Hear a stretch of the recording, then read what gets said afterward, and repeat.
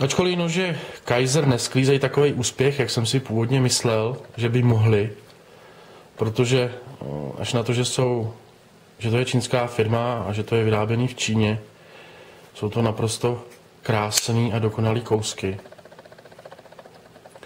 A jsou za polovinu ceny, což je dobrý kompromis mezi tím nechtěním čínského výrobku a chtěním kvality a krásy a užitní hodnoty. že tohle je takový trošku atypický design s lepkama. Ale jinak se držej velice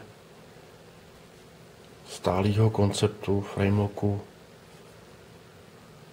flipru a velice kvalitních ocelí nešetřením titániem. Jsem se těšil na nějaký celotitániový nůž. Zatím jenom tenhle ten lebznovej. Krásně DCčko.